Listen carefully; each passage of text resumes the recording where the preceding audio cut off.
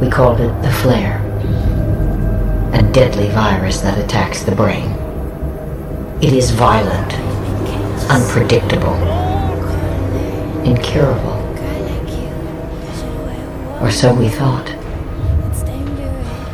In time, a new generation emerged that could survive the virus. Suddenly, there was a reason to hope for a cure.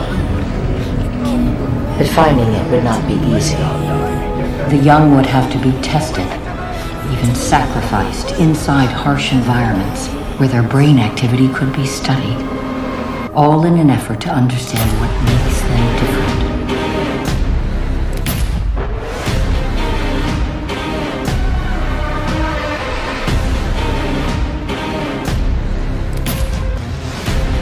Unfortunately, your trials have only just begun. Hey,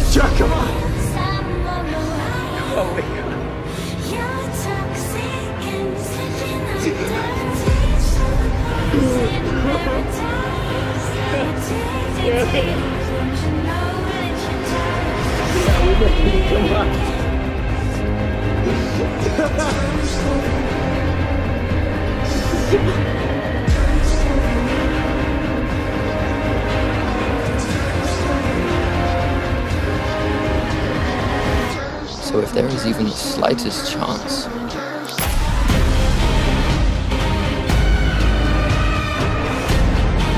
we can save him, we can get him out of there, then we can take that.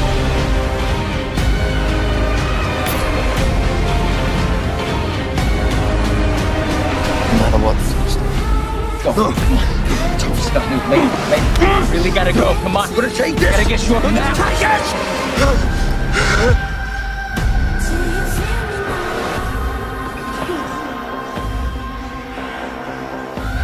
name is Dr. Ava Paige. I'm Director of Operations of the World Catastrophe Kill Zone Department.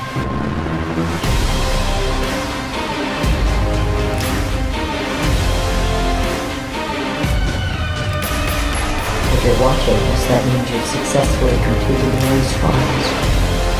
I wish I could be there in person to congratulate you, but circumstances seem to have prevented it.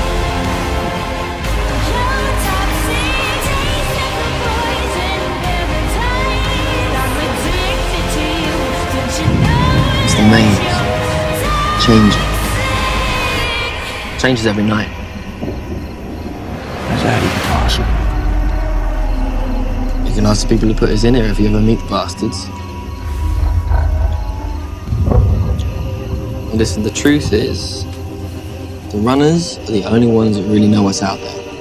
They're the strongest and the fastest of us all, and it's a good thing too, because if they don't make it back before those doors close, then they're stuck out there for the night.